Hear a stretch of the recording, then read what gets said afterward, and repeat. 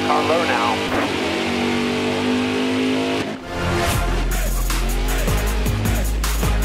Nice work with the top 10.